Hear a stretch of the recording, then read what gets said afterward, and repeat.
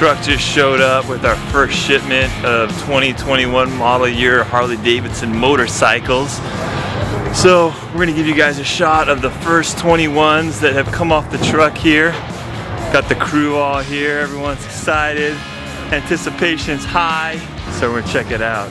So as many of you guys already know, Harley Davidson typically launches their new model year the end of August, but this year things are a little bit different with the pandemic and everything, so Harley Davidson opted to postpone the model launch until January, January 19th specifically, and many of you have probably already seen advertisements for Harley Davidson's virtual global launch, and that also is a little bit different as well. Usually the dealers all get together at some convention center somewhere and all the dealers get to check out all the new stuff and learn about the new bikes so they can be knowledgeable on the new products and things like that. But this year they're not doing that, once again, due to the pandemic primarily. And instead, what they're doing is they're announcing all the models online virtually to both the world and the dealers at the same time. So if you haven't already registered, I'm going to put a link in the description of the video for Harley Davidson's virtual global event on January 19th. It starts at 10 o'clock Central Time. So if you register, I'm sure you'll be notified via email exactly how to tune in and watch that. I'm assuming it's going to be on YouTube or on their website or something like that that. But I'm looking forward to it because we get to hear from the engineers and the style team, a lot of the product development guys, which in my world, they're kind of my rock stars. So I love hearing from those guys and getting all the real technical aspects of the bikes. So let's jump into some of these bikes that have been delivered to dealerships. I'll go over all the bikes that we know of at this point. We didn't get all of the available models at this point, although we did get a nice handful of them. But I'll be talking about all the bikes that have been delivered to dealers thus far. I've got friends at a bunch of the neighboring dealerships that have sent me pictures of bikes that we didn't necessarily get but at least I have the information surrounding those models. And I also want to go over some of the things that we haven't seen yet.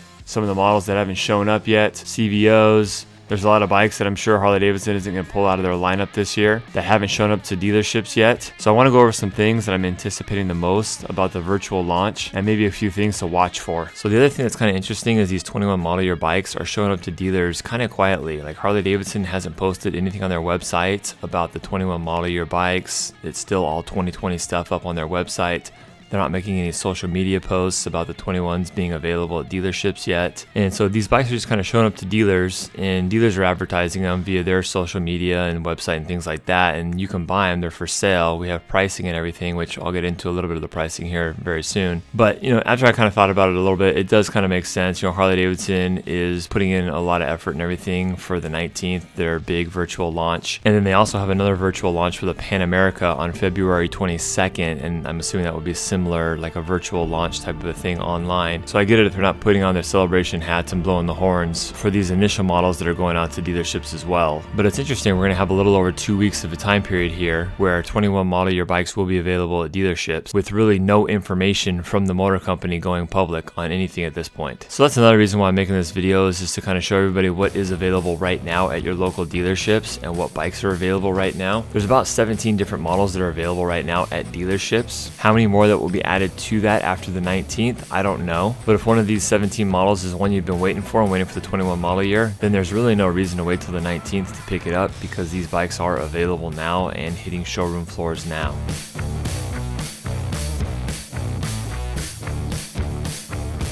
So let's check out what's behind door number one. So here we have a 2021 model year, a Lowrider S in the vivid black, one of two colors that are available this year. So this is a bike that I didn't anticipate that there would be very many changes this year just because it was a brand new model in the 2021 model year lineup. And when I say brand new model, it was reintroduced to the lineup on the brand new Softail chassis that was introduced in the 18 model year. The Lowrider S was first introduced in the 16 model year and made a big splash in the Harley world on the 16 and 17 model year when it was on the Dyna chassis. It was kind of like uh, the Dyna Bros perfect factory bike. And so it was kind of a big upset when the bike was discontinued in the 2018 model year. But since Harley Davidson has reintroduced it to the lineup in the 2020 model year, and again for this model year, I anticipate it being uh, again and continuing to being one of the most popular Harley Davidsons out there. It was our number one best-selling Softail, maybe our number one best-selling motorcycle for the 2020 model year. It just really hits home on a lot of different levels with the type of rider that goes for this type of bike. So a lot of people have questions about displacement. The displacement is still a 114.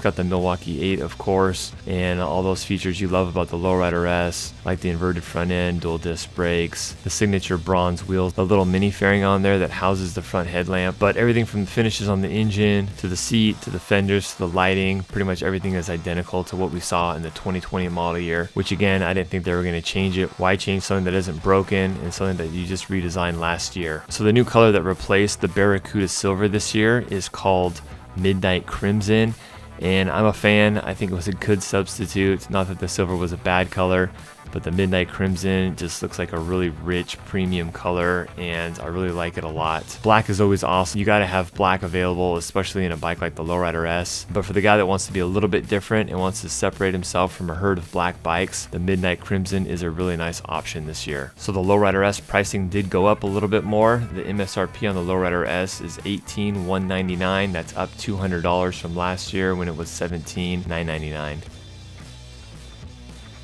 So let's check out what we have behind door number two. So the second bike we got here is the Road Glide Limited. So the Road Glide Limited is the full dresser Road Glide with the tour pack and the comfy seat and the heated grips and all that good stuff. Prior to the 2020 model year, this was known as the Road Glide Ultra. And last year in the 2020 model year, they renamed it the Road Glide Limited and applied all those fancy features that the Ultra Limited had. And so the Road Glide was no longer left out. So this is a brand new color. This is called the Gauntlet Gauntlet Gray Metallic. Of all the new colors I've seen so far, this is by far my favorite. This is just a really cool shade of gray that I personally really like. Now this bike you can get in both the chrome or the black finishes. This bike obviously has the black finishes. You pay a $1,900 upcharge for the black finishes on this bike. RDRS is still an option on here for $995 and those are your two options, your chrome or black finish or your with or without RDRS. So this bike, again, as all these bikes are relatively unchanged from the previous model year, which is why it's showing up at our dealership right now. But this new color looks awesome. And you've got the Slicer two wheels, which is a new wheel last year. And I just think it looks really good on this bike with this color. One thing that we did notice immediately that is getting a lot of attention and kind of a lot of buzz on the internet at this point is it appears that the touring bikes have all gone to a cable clutch as opposed to a hydraulic clutch. Those of you who have been in the Harley Davidson world for a long time now probably remember back in the 2014 model year launch when they launched the Rushmore project, they converted all their touring bikes to a hydraulic clutch. Now for whatever reason they've gone to the cable clutch and I'm going to dig into it more and let you guys know in future videos what I find out about the cable clutch but all the scuttlebutt on the internet right now is you know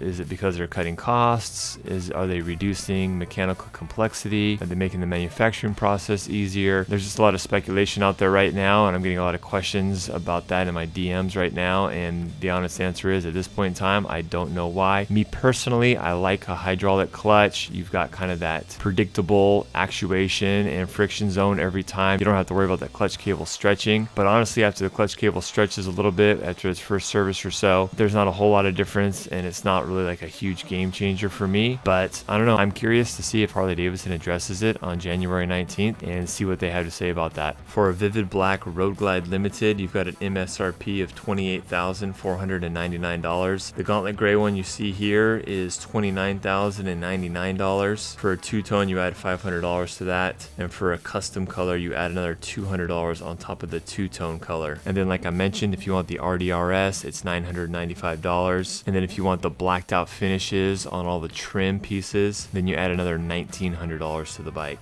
Much like the Lowrider S, the MSRP on the Road Glide Limited has also increased $200 when compared to the 2020 model. It's also worth mentioning that the Ultra Limited has also shipped out as well. It's pretty much the same as the Road Glide Limited and the Ultra Limited that we saw in 2020 with the same options that I mentioned before. You can get it in the chrome trim or the black trim. The black trim is an upcharge. We didn't receive any Ultra Limiteds in our first shipment that you see here, but I will be featuring the Ultra Limited on the channel in the future. So next up we've got the 2021 Sport Glide, and this is the Gauntlet Gray Metallic, so the same color that I was just showing off the Road Glide Limited in. Again, this color looks beautiful on this bike, and kind of a really nice change they made this year is the saddlebag comes in a color match saddlebag outer shell there, and it's gloss as well. As many of you will remember that the bags in previous years were that dull black or like that denim black finish on them. And so having that color matched look on the saddlebag just looks a lot nicer and like a little bit more finished as well. The graphics are new as well. You got kind of this orange outline of the bar and shield on there next to the Harley Davidson text with like a race stripe inspired look on the tank. And it looks really, really sharp, especially in this color. I think it looks really good. I love the paint on this bike. You got the 107 cubic inch Milwaukee 8 engine and the external preload adjustment there. Again, no real significant changes on this bike, which is why it's showing up early prior to the virtual launch.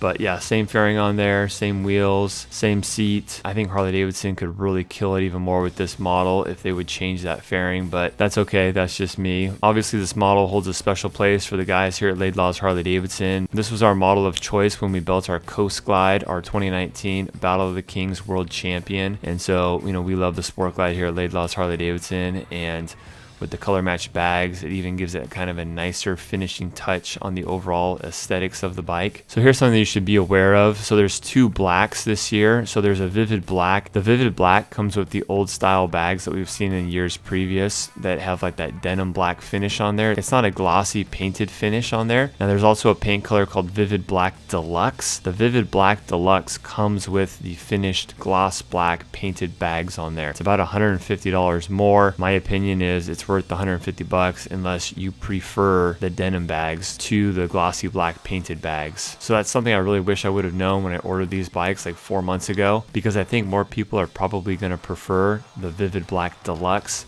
with the gloss painted bag. Here you can see both the denim bag that we've seen in the past, and here you can also see the glossy black, vivid black deluxe painted bags. So we'll probably be doing a full review on the Sport Glide in the next week or so. So be looking for that. Probably one of the first bikes that we'll be doing a full model review on the channel. So be looking for that video in the near future. The Vivid Black Sport Glide has an MSRP of 18,799. The Vivid Black Deluxe that has the glossy black bags is 18,949. So again, just 150 bucks more if you want those glossy black bags. And then anything with a color, it's 19,249. So that would be the Gauntlet Gray Metallic. I know they've also got the Stone Washed Pearl, which is like a white color. And I can't remember if there's any other colors out there, but those are the only ones I've seen so far. The MSRP this year, once again, represents a $200 increase over the MSRP last year in the 2020 model year.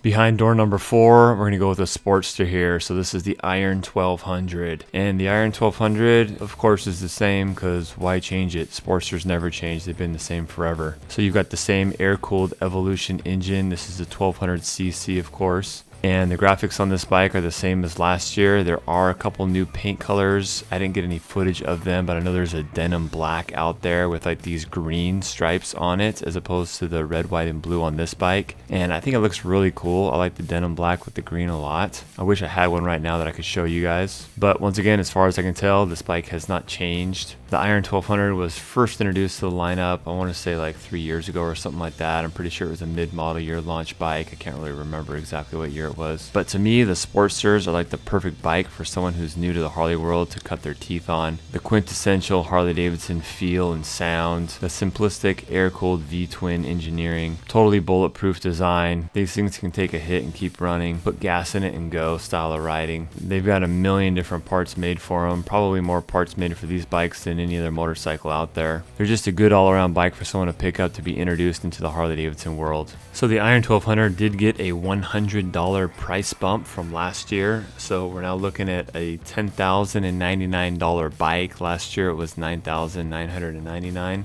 And that takes me to my next bike here. We've got an Iron 883. Same story, nothing's changed on the bike. However, this bike did see a significant price bump. We're looking at $9,599. So the Iron 883 saw a $600 price bump when you compare it to the 2020 model year Iron. The Iron 883 for the longest time has been $8,999. These two Sportsters have the same options they've had in previous model years. You've got ABS for an upcharge of $795 and you've got security for an upcharge of $395. Although we didn't get any 48s in this shipment, I wish we did. I have seen 48s being delivered to other dealerships, so that is a model that is landing at dealerships now. However, the Roadster is a model that I have yet to see this model year. I think it's probably discontinued. However, maybe we'll be surprised at the global launch on January 19th. So next up, we've got another staple in the Harley-Davidson lineup. We've got the Road King, and this is the Road King Standard to be specific. So you've got the passing lamps on there, and you've got the Slicer two wheels, and you've got the 107 cubic inch Milwaukee 8 full height of the rear suspension. And of course, as I'm describing this, I'm comparing it kind of to the Road King Special. The Road King Special has the 114. It had the Prodigy wheels last year, has a little bit thicker bar on there. It does not have the passing lamps and it has the lowered shocks and the low contour seat. And speaking of specials, I have yet to see a Street Glide special, a Road Glide special, or a Road King special. So I'm assuming those models are all going to drop after the global announcement on the 19th. So that's definitely one of the things that's high on my radar with the global launch is what's up with the specials. Again, the Street Glide, the Road Glide, and the Road King special.